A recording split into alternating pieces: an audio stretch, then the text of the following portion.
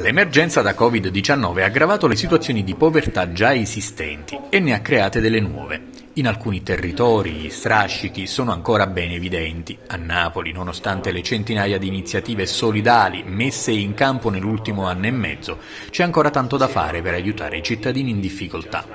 Ecco perché il Panaro, simbolo di generosità partenopea nel primo lockdown, torna di moda come simbolo di generosità e aiuto.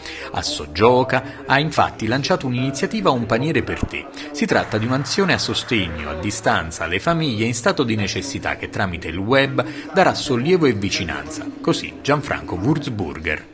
Abbiamo realizzato questa piattaforma eh, unpaniereperte.it dove è possibile fare la spesa virtuale ma è una spesa poi che si concretizza nel dare generi alimentari di prima necessità alle persone bisognose, alle persone che comunque vengono già assistite dalla nostra rete di associazioni, infatti il progetto è stato realizzato insieme all'associazione Le Viole e Zimmerman, Le Viole di Partenope e eh, vogliamo comunque continuare ad assistere queste persone in un momento in cui eh, i poveri stanno aumentando. Presentata in risposta al bando APS ODV della Regione Campania, l'iniziativa punta a offrire beni di prima necessità, lezioni, attività sportive, visite e consultori medici per i cittadini.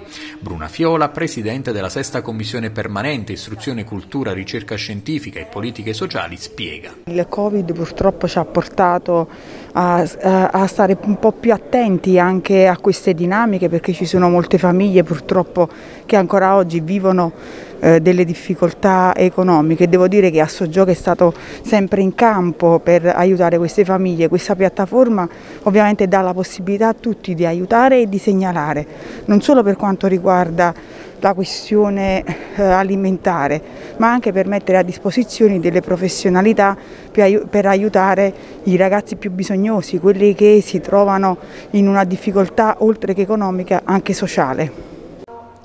L'iniziativa è stata realizzata in partenariato con le associazioni Zimmerman e le Viole di Partenope, un'occasione di condivisione, così l'ha definita Don Tonino Palmese. La dimensione digitale alimenta ancora di più il senso di delicatezza nei confronti di chi è nel bisogno e anche la possibilità di entrare in punta di piedi. Per una volta o per tante volte il digitale ci permette di essere discreti e sobri nel, nell'esercitare il ruolo della testimonianza, della carità e della solidarietà e allo stesso tempo prendiamo atto davvero che ci sono tantissime famiglie che mentre prima abitualmente nell'indigenza si erano abituate a chiedere, oggi sono tante famiglie che non essendo state mai nell'indigenza hanno anche un grande timore, vergogna e pudore nel dover esporre la propria faccia davanti alla povertà.